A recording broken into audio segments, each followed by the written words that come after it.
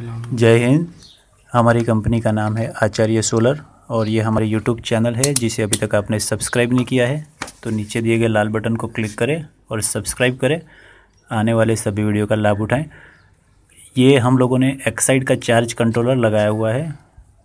मेरी छब्बीस एम्पियर की बैटरी है एक्साइड की और ऊपर पैनल लगाई हुई है पचास वाट की। तो आप देख सकते हैं यहाँ पे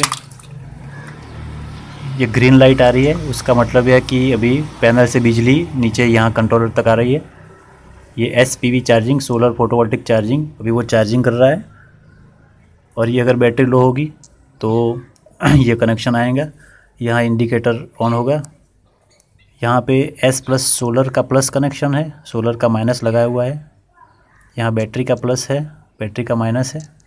और यहाँ लोड 12 वोल्ट आता है। लोड प्लस और load minus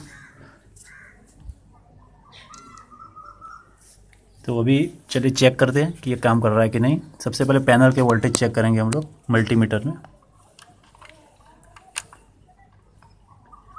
S plus S minus आप देख सकते हो। सत्रह पॉइंट नौ में आ रहा है।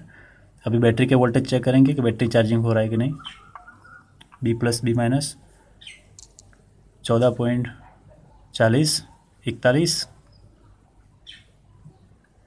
बैटरी भी चार्ज हो रही है। अभी लोड वोल्टेज चेक करेंगे। L plus L minus load में भी चौदह वोल्ट आ गए बैटरी के। तो ऐसे ये काम करता है और बैटरी का आयुष्य इससे बढ़ता है बैटरी की लाइफ बढ़ जाती है ये कंट्रोलर लगाने से। तो अगर ये वीडियो आपको पसंद आया हो तो इसे लाइक करें शेयर करें और हमारे यूट्यूब चैनल को सब्सक्राइब करें। और अगर ये ख़रीदना हो तो यूट्यूब लिंक के डिस्क्रिप्शन में जाए, वहाँ पे सारे डिटेल्स होगी, कीमत होगी। आपने अपना कीमती समय निकाल कर वीडियो देखा, इसके लिए आपका बहुत बहुत धन्यवाद। आपका दिन शुभ रहे। जय हिंद